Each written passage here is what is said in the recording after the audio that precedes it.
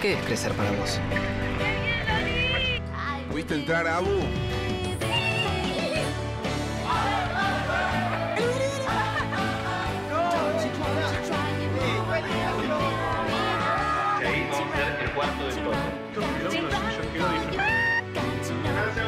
Para cada uno, crecer es algo distinto. Lo importante es tener quien te acompañe. Me parece que hice un video. Banco Ciudad. Te quiere ver crecer.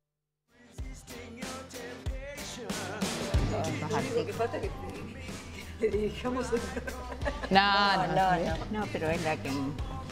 Así está Buenos Aires a esta hora, el cielo está despejado, estamos prontos a la primavera y te hacemos compañía en Banda 3.0 desde aquí a todo el país hasta las 10 de la mañana.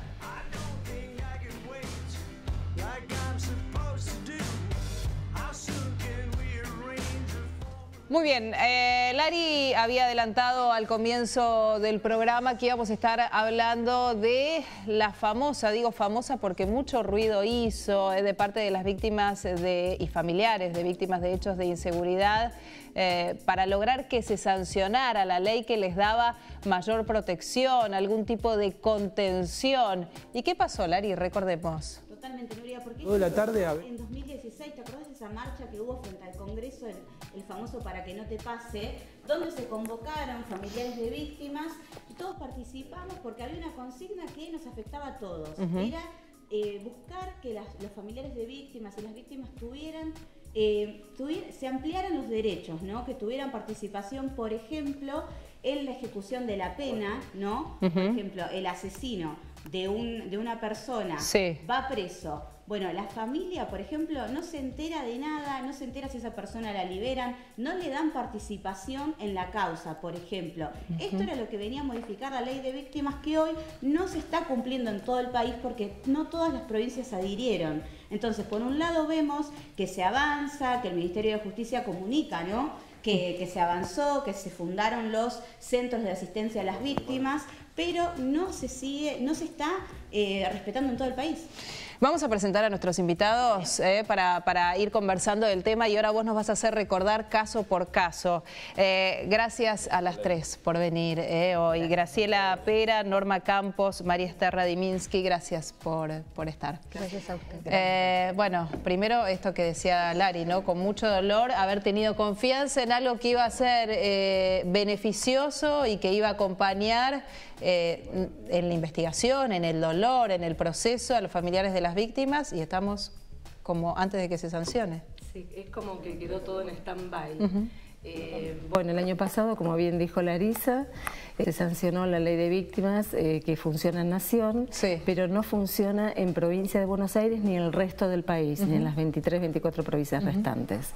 Eh, esto es porque el código procesal de cada provincia, esta es una ley procesal y tiene que adherir. Eh, porque no se puede avasallar los códigos procesales de provincia. Al no adherir o al no modificar el código procesal, eh, no podés ser parte, por ejemplo, en la etapa de ejecución de pena.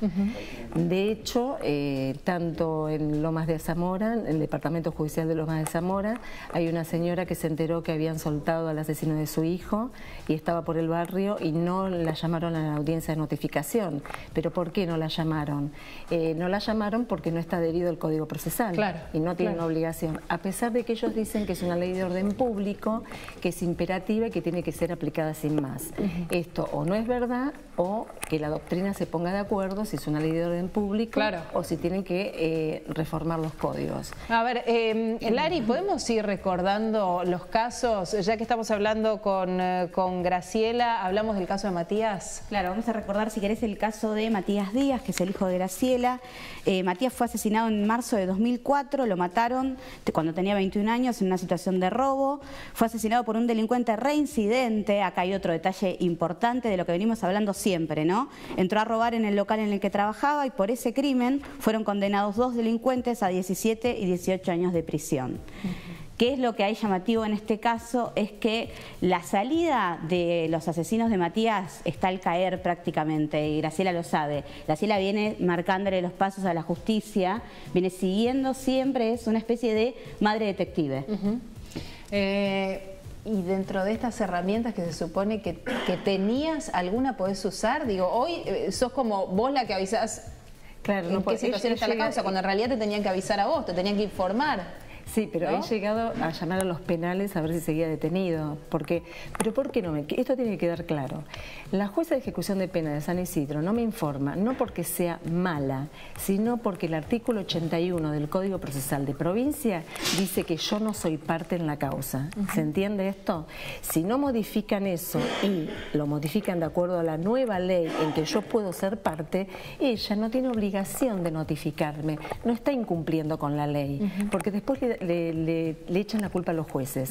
En algunos casos tienen la culpa y en este caso no lo tiene. No me notifica porque ese artículo le dice que no me tiene por qué notificar y no adhirió provincia a eh, la nueva ley o no modificaron el código para que me pueda recibir. Así no tiene ex- excusa la jueza de que no me recibe. Ese es, no sé si se entiende. Claro, Sí, si- claro. Si, la provincia se adhiriera a la ley de, eh, de asistencia a las víctimas, lo que cambiaría es que Graciela sería particular damnificado en esa causa y tendría acceso. Podría conocer si el asesino de su- si alguno de los asesinos de su hijo está por salir, podría evitarse el momento de tener que cruzárselo por la calle. Tremendo. ¿Ese es tu fantasma? Eh, él eh, vive más o menos a 10 minutos de mi casa. No, eh, yo no, no voy, voy a ser sincera, no tanto por mí, sino más por mi otro hijo, no por mí ni mi marido. Bueno, vos conoces a Fernando, así que, eh, pero más por mi otro hijo. Y aparte que tengo derecho a saber. Claro. Eh, por eso, viste, el pedido es que adhiera provincia de Buenos Aires o que reformen el código para que todos podamos ser parte en la causa y podamos tener el abogado gratuito, que eso, las que más saben de ese tema son tanto Esther como Norma. Bueno, vamos al caso de, de Norma Lari. Claro, vamos a Recordamos el caso de recordar. hijo. Claro, el caso de Néstor Alejandro Valdés, que tenía 35 años, no era cabo de la Policía Federal, fue asesinado en enero de 2012 cuando una banda entró a robar en la casa de sus padres en Isidro Casanova. Lo mataron cuando descubrieron que era un efectivo de la policía. El asesino fue condenado a prisión perpetua. Norma. Sí, este, y bueno, eh, en febrero, después de seis años y medio, eh, lograron condenar a uno de los seis que entraron adentro, eh, que entraron y mataron a mi hijo. Sí. Pero cuando el abogado quiso, pidió para aplicar la ley de víctimas, este, no la pudo aplicar, porque dice que no está adherida a provincia. Claro. En el mismo. el- Eh, así que, claro, igual que eh, Graciela. Claro. Por eso digo yo, este, así que, es, eh, y ya a los dos meses está pidiendo beneficios. Claro. O sea, eh, el día, mañana lo pueden largar Sí. y, y me lo encuentro en la calle. Sí. Y si esta ley no, no, no es aplicada, este, a la cual dice de que nos tienes que informar Dolor sumado al dolor. Nunca jamás te sentiste acompañada. Digo, por la justicia, ¿no? No, este no, no, no, no. Durante seis años y medio y seguimos todavía caminando eh, eh, en busca de justicia, porque eran, son seis los que Claro. Tras de este hay uno que estaba prófugo. Claro. Recién ahora cayó. Lari, eh, siempre resaltamos, inclusive cuando veníamos hablando del tema aquí antes de que se sancionara la ley, que si no es por el caminar de los familiares, de esas madres a las que les tocó atravesar el dolor más profundo que puede atravesar un- una madre, un padre, eh, nunca se hubiese llegado a eso. No, tal cual. Eh, No, y además, a ver, siempre cuestionamos las decisiones de los jueces, ¿no? El tema de la puerta giratoria, los jueces de la polémica, los jueces, los nombres de los que hablamos siempre. Pero acá hay una ley nacional que es la que viene a darles esa protección que les faltaba. Claro, esa Entonces, herramienta. ¿Y por ahora, qué? qué? hacemos? Sacamos una ley para que las provincias no adhieran. Sí. Entonces, todos Es esos derechos son para pocos. Es increíble. Eh, repasemos juntos eh, el caso de Alex, Lari, y, ya nos metemos a hablar de, por qué creen, cuáles son los, condimentos que hacen que esta ley no se aplique en todo el país. Hablamos del caso del hijo de María Esther, ¿no? Alex Ayala, que fue asesinado el 13 de marzo de 2012 cuando estaba guardando su auto. Su caso disparó varias marchas por seguridad en Lanús y dos jóvenes fueron condenados a 14 y a 20 años de prisión por el crimen. No fue el único juicio, ahora María Esther nos va a contar bien porque hubo un primer juicio y hubo un pedido para que el tribunal volviera a decidir sobre el caso, ¿no, María Esther? Bueno, no, no es exactamente así. Co- Contanos. Eh, realmente los imputados y condenados hoy en día fueron cinco. Eh, dos mayores, no, perdón, tres mayores y dos menores. Eh, las sentencias están firmes y quiero decir que a diferencia de lo que dijo Norma, en mi caso en parte me sentí acompañada, digo en parte, porque hubo otras cosas más que faltaron y siguen faltando, que por eso es que seguimos luchando. Porque acá hay una condena firme en tu caso. Hay, hay condena firme, hay en este caso uno de los imputados que tuvo reclusión perpetua, me refiero a Maximiliano Gabriel Guzmán, eh, hoy está apelando por segunda vez, la primera que apela la revisión de su condena, o sea, a ver, no soy técnica, pero quiero decir, él aduce que quiere que sea revisada su condena a ver si estuvo aplicada de acuerdo a la ley. O sea, beneficios, son máquinas de pedir beneficios, ¿no es cierto? Yo me entero por mi abogado, el doctor Martín Nóbil y la doctora Flavia del Vigo, pero todos realmente sabemos que cuando se te terminó el dinero, porque yo los abogados los pagué siempre de mi bolsillo, eh, me informa nada más que humanitariamente. En este momento eh, estoy queriendo llegar a la Suprema Corte de Justicia. Si bien me han acompañado del Ministerio, no puedo decir que no. Eh, quisiera que el contacto sea más fluido, más participativo para todos los familiares.